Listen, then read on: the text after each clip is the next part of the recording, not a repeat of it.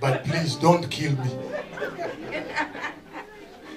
My mother was revealing the power that I had, which I never knew that I have.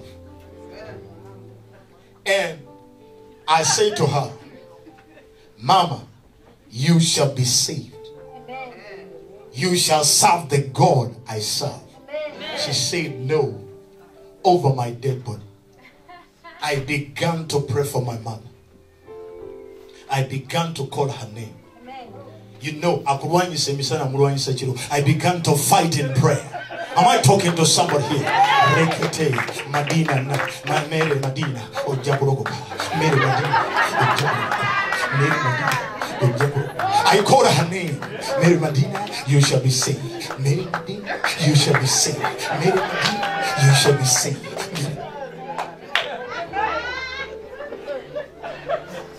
You know, some of you don't know what they call dangerous prayers. But I saw, I had Pastor, Pastor Ken, I heard of dangerous prayers for the first time when I went to Nigeria. I was in this church, and the leader of the service stood and said, uh, Children of God, before we welcome the man of God, we are going to pray some dangerous prayers. I had never heard such a statement before in my life. So say, let me wait and see how the dangerous prayer is going to be. Then he asked the question, how many people here have enemies? The whole church raised up their hands. He said, we are going to kill them before they kill us. Jesus. Now I have to wait and see how they are going to kill them. They began to pray, by fire we kill, by fire we kill, by fire we scatter, by fire we scatter. Now they were praying while dancing. I was the only one remaining standing because I didn't know how to. I said, let me join before they kill me also. I said, by fire we stand, by fire we kill, by fire we destroy. Then after we kill them, he said, after you kill them, you don't leave them there. You bury them. They began by fire, we bury. By fire, we bury. By fire.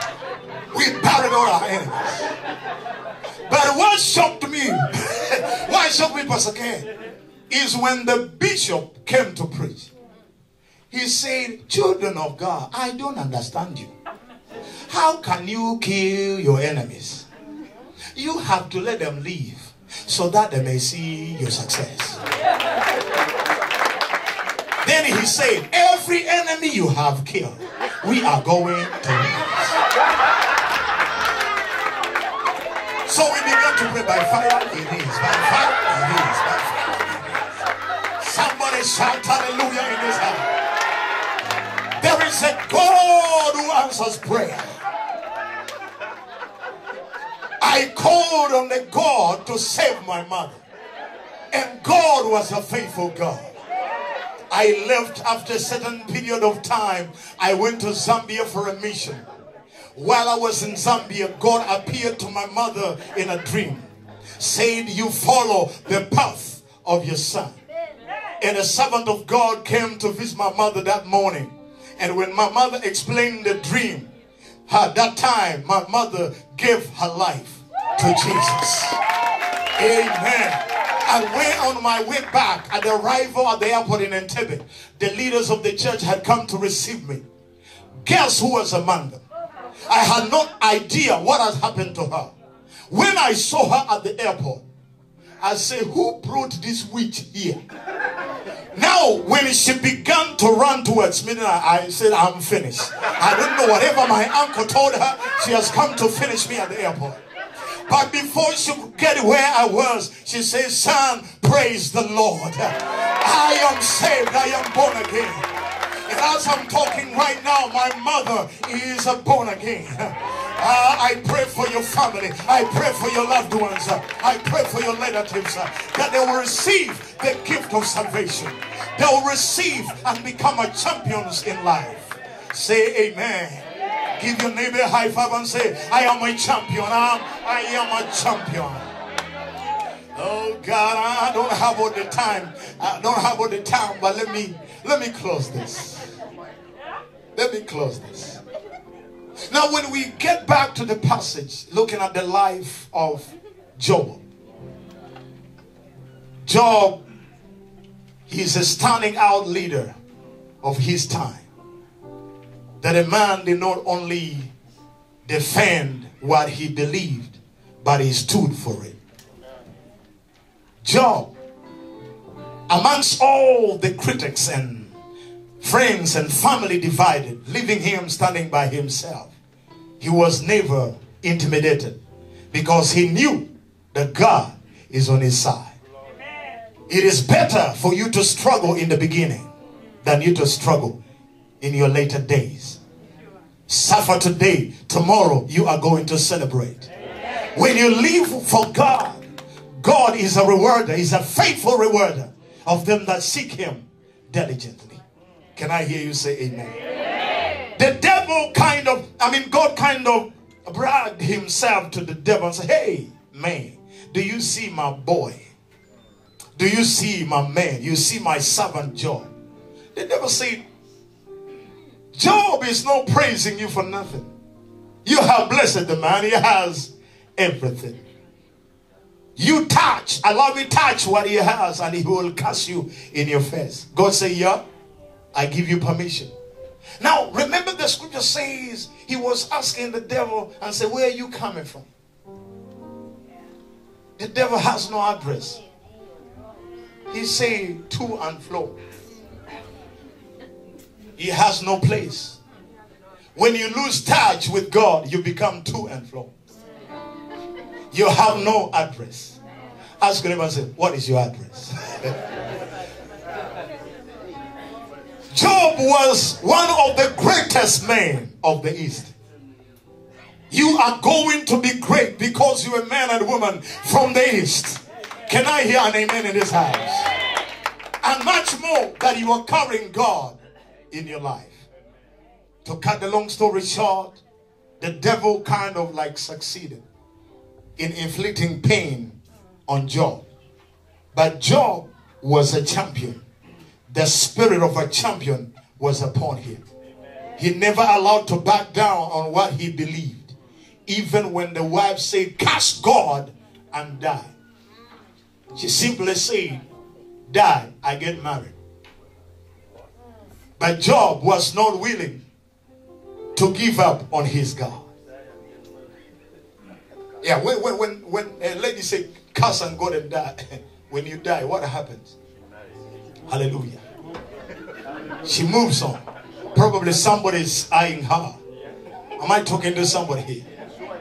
But Job said, I'll never do such a thing. That's why he made a statement that some believers use. That can we expect only good things from God? That was a personal statement from Job. So don't make it yours. Because God is not author of evil stuff. So the man, because of defending his faith, he mentioned that statement. But God was watching every step of Job's life. And because the spirit of a winner was upon his life, God never allowed the devil to win. I pray for you in every challenge you are facing today. God will not allow the devil to win over your life. Everything you are faced with in your family, with your paper issues, God will not allow the devil to win this world and the, the, the, the, things that belong to it, they belong to God. Everything that is in this world belongs to God. You can live anywhere you want to live.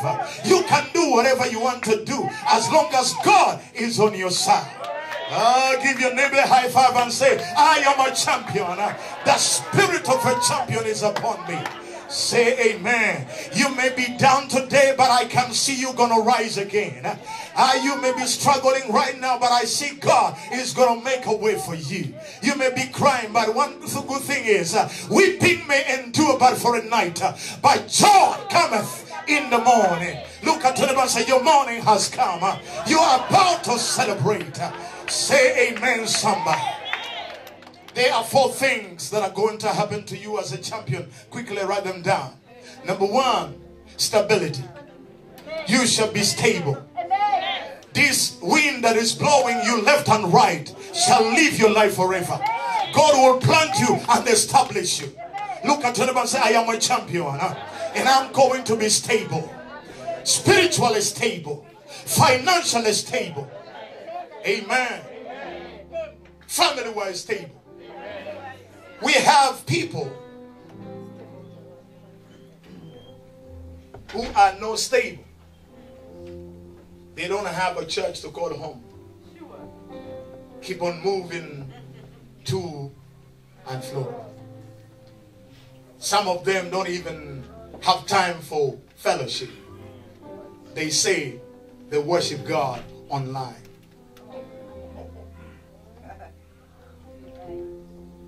It's good sometimes to worship God online when you're at work. But the days that God has separated for you, you got to fellowship. Amen. Because God is a God of fellowship. He's not a God of online. Online is your own way of reaching somewhere. But fellowship, it is God's way to reach you. Am I talking to somebody here? Do you think on any single day that Pastor Ken will appear through your computer, boom, and lay hands on you, then go back to church? That's why Hebrews 10 25. Forsake not fellowship, coming together as others do. Which means there's some people who have that behavior. Touch your neighbor and say, I am not one of them. So, in order for you to be stable, you have to be in touch with God, in a fellowship with God. Number two, inward nourishment. Inward nourishment. You got to be nourished, your spirit, by, by reading the word of God, by worship, by prayer. Some of you, you listen to music that does not even build. Pooh, pooh, doesn't even have a message. Let your house be filled with praise and worship. Because it is in the presence of God that our sicknesses disappear. It is in the presence of God that we become champions. How are you talking to somebody here? Number three, fruitfulness and productivity. You shall be fruitful. When Joseph was in the house of Potiphar, the Bible says, and the house of Potiphar prospered in the hands of Joseph. Whatever you do, wherever you go, let things not die in your hands, but let things prosper in your hands. Can I hear you say amen? Because that's where your promotion and increase is going to come from. You are a champion. You are not called to fail. You are called to win. Number four, strengthen and durability. Strength and durability. You shall be stable and shaken. Say amen. Troubles will come beat you on every side, but you remain standing because you are a champion. Say hallelujah. And number five, success. Can I hear you say amen? You will not be a failure, but you are going to be successful in this life. If you believe it, let me hear a louder amen in the house of God. You are not a failure, but you are going to win. Say amen. As I close, I've never seen a man walking when it has rained. Like in Africa, where I come from, when it rains, there's mud everywhere. In some places. Because now things are changing, depends where you live. When you walk when you walking and then you sleep and fall. Do you?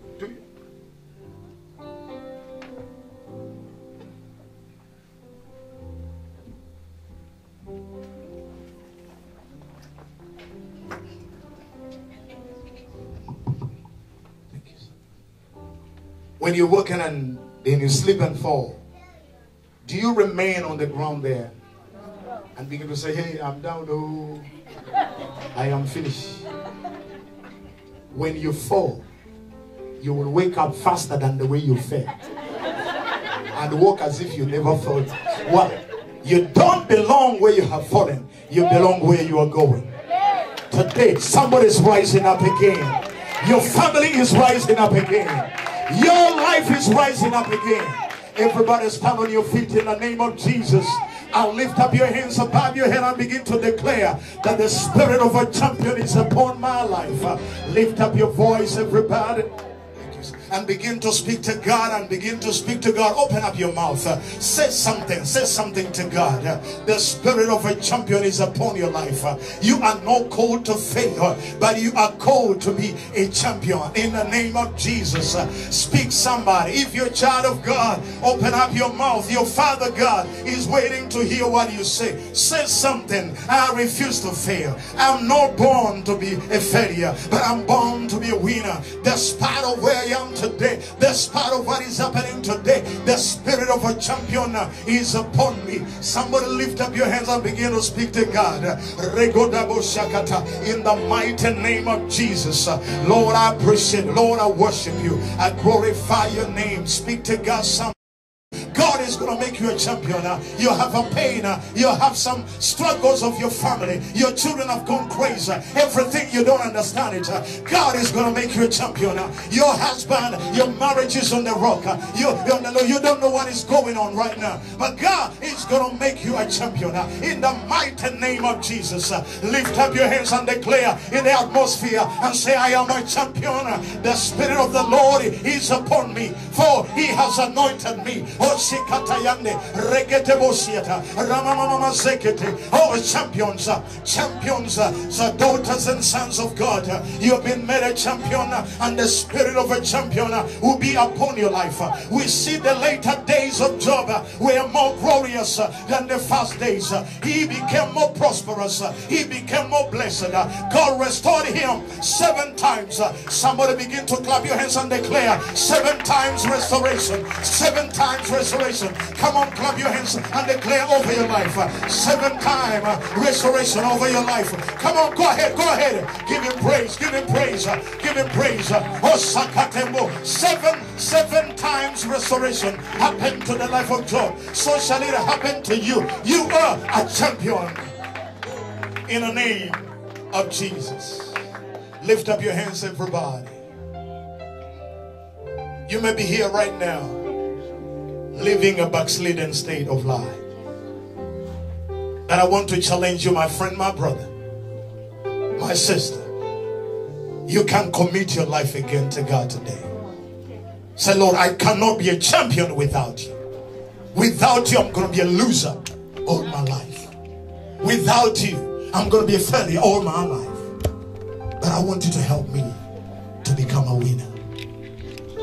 The devil pushes me always in the wrong side of life. But I want to shift from that side to the side of God. This is your time, my friend. If you are saying, Apostle J.K. Ssekalala, please pray with me. I want you to come forward. Let me pray with you right now. You say, man of God, pray with me. I don't know what is going on, but I want God to help me. We have come here to raise you again you can rise up again. You can beat that sickness again. You can beat, beat that challenge again. In the name of Jesus. If you're such a person, I'm waiting for you. There is nothing to be afraid of. Nothing to be ashamed of. Come. Let God revive you. Let God renew your faith. Renew your fellowship. Renew your commitment. Somebody come. God help you. In the name of Jesus. You are there going through some struggles of life. You want to be a champion. Come. Some struggles of life. You don't even understand what is going on. Just come. God, make me a champion in this field. You are being fought on left and right at the place of work. People don't like you. They reject you. They think you are a foreigner in this land. But you're not a foreigner in the presence of God. A spirit of rejection is upon you. You are rejected in different places without knowing why. But God is able to renew you to make you a champion. Come closer, come closer. In the name of Jesus. I want to touch somebody with an anointing right now. In any challenge you have, God is going to make you a champion. I believe in miracles and signs and wonders. God is still at work today. He is able to do exceedingly abundantly above what we can ask or think. You are going through a certain kind of challenge in your life. Please come, please come. I know you're already a child of God, but you have reached a level. The enemy has put you on the wall. You don't know what to do and where to go. Let me speak a word over your life. It is able to change your present situation. It is able to change your present situation and make you a champion. In the name of Jesus, let a spirit of a champion rest upon your life. Everybody lift up your hand and begin to speak, Lord. I receive the spirit of a champion. I receive the mind of a champion. I receive the nature of a champion. I receive a character of a champion. I receive a behavior of a champion. I receive the faith of a champion. In the mighty name of Jesus. As we reach right now to you with the man of God. As we touch you Something fresh is coming upon your life. Something new is touching your spirit. In the name of Jesus. Oh, Shakata. May God make you a champion, mama. Every struggle you are going through right now, receive a spirit of a champion. In the mighty name of Jesus. You shall not be a failure, but you shall be a winner. Be receive a spirit of a champion in every area of your life, every aspect of your life. In the mighty name of Jesus. My brother, I declare and decree over your life, become a champion in the field where you are right now. Uh, receive a spirit of a champion. In the mighty name of Jesus. Yes, my sister, everything that you may be struggling with right now, may God give you a spirit of a champion in the mighty name of Jesus. You shall win. You shall win. Oh, sister, every struggle you may be going through right now. Uh, receive a spirit of a champion. In the name of Jesus, may you receive a spirit of a champion, my sister. Whatever it is that you are facing today, may God give you the power and the spirit of a champion in the name of Jesus. Every spirit of discouragement, frustration, depression, oh, the. I rebuke it and I pray that God will close you with a spirit of a champion. May you become a champion in the field where you are right now in the mighty name of Jesus. I decree and declare you are not a failure in this life, sister, but I decree that you a champion. Receive that spirit of a champion. May God fill you one more time. May God fill you with fire, fire, fire, fire on high, fire on high, fire on high, fire on high. In the name of Jesus, receive, receive, receive, receive fresh spirit, spirit of a champion. Where the Holy Ghost, where the Holy Ghost, no other spirit can stand, no other spirit can. In the name of Jesus. I separate you from the failures of your father's house. I separate you from the curses of your family. I break every chain that has been following you. And I speak a spirit of a champion on your life. We declare over your life, sister, spirit of a champion be upon your life. You'll be a champion in every field where God has planted you. In the mighty name of Jesus. In the mighty name of Jesus, you are a champion. You are a champion. The spirit of a champion is upon your life. God is raising you again in a powerful way. Where others have defeated, you shall succeed. Name of Jesus. You shall beat anything that enemy brings your way. The spirit of a champion is upon you. You are champion in the name of Jesus. What others have failed to do, you shall do. What others have failed to overcome, you shall overcome. You are a champion. You are a champion. Spirit of a champion is upon your life. May God restore to you the years of pain and struggle. In the name of Jesus. Spirit of a champion. Be upon your life, mama. In your old age, you shall not struggle. May God make you a champion. In the name of Jesus. Woman of God. Hosianda Baba, I declare, we declare over your life, spirit of a champion in every area of your life. Win and overcome. And even your generation will not struggle. In the name of Jesus. Young man, you will grow up to be profitable to your family and to the kingdom of God. The spirit of a champion be upon your life. In Jesus' name. Amen. Somebody lift up your hands and give God the praise. In the name of Jesus. Let the spirit of a champion be upon your life. Where others have struggled, God is going to make life easy for you. You are a champion. What your family never accomplished, you shall accomplish. In the name of Jesus. Spirit of a champion is upon you. In the name of Jesus. In your old age, you shall always be a champion. The spirit of a champion will be upon your life. In the name of Jesus, we bless you. Amen. I declare and declare, Mama, the later years of your life, you shall end like Job, full of life and full of days. Champion,